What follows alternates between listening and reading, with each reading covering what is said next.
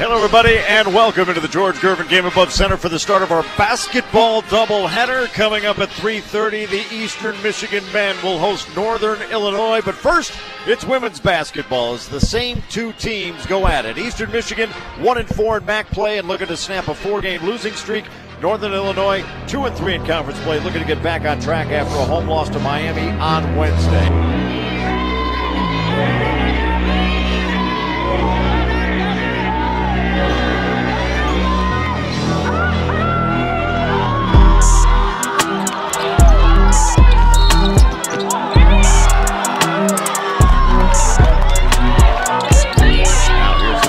Lachelle for three from the right wing. That one's good. And now cuts back to the right. She'll pull up for the long three. That one's good.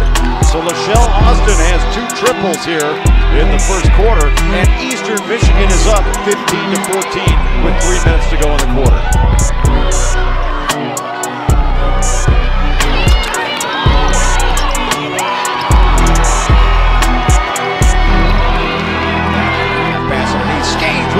Interception.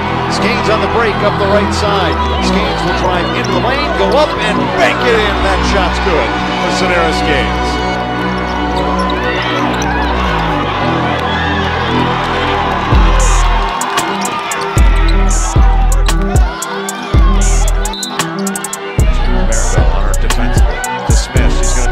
Again.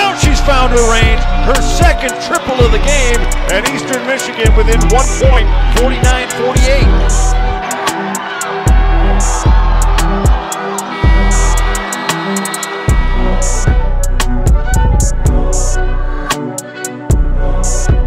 Minute five to play in overtime.